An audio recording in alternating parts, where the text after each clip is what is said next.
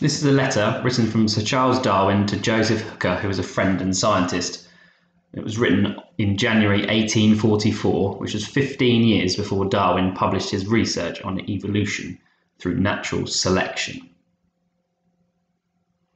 My dear Sir, must write to thank you for your last letter. I, to tell you how much all of your views and facts interest me.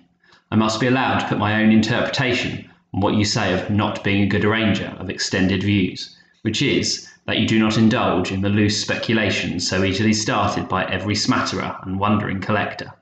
I look at a strong tendency to generalize as an entire evil. What limits shall you take on the Patagonian side? Has D'Orbigny published?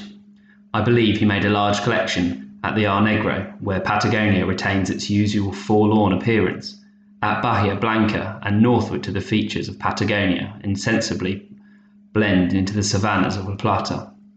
The botany of South Patagonia, and I collected every plant in the flower in flower at the season when there, would be worth comparison with the North Patagonian collection by D'Orbigny. I do not know anything about King's plants, but his birds were so inaccurately habitated that I have seen specimens from Brazil, Tierra del, and the Cape de Verde Island, all said to come from the St. Magellan. What you say of Mr. Brown is humiliating. I had suspected it, but could not allow myself to believe in such heresy. Fitzroy gave him a rap in his preface and made me very indignant, but it seems a much harder one would not have been wasted. My cryptogamic collection was sent to Berkeley. It was not large. I do not believe he has yet published an account, but he wrote to me some year ago that he had described and mislaid all his descriptions?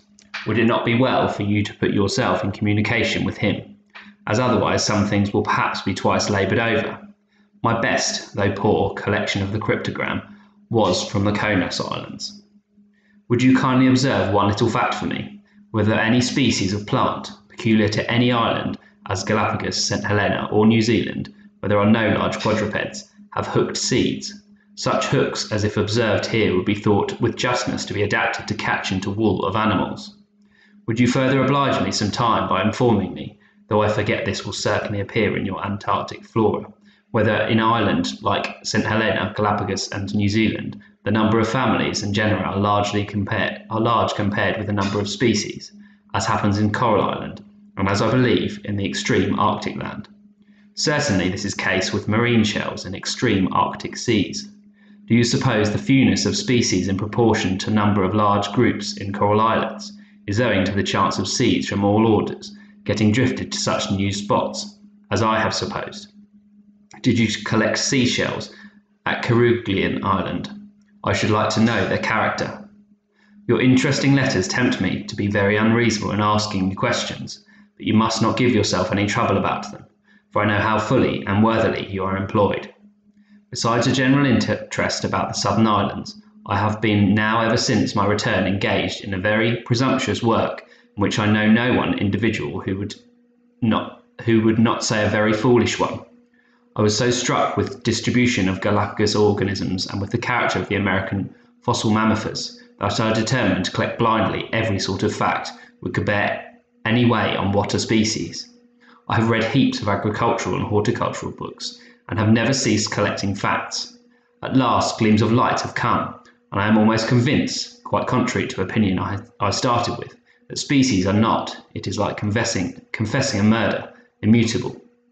Heaven forfend me from Lamarck nonsense of a tendency to progression, adaptations from the slow willing of animals.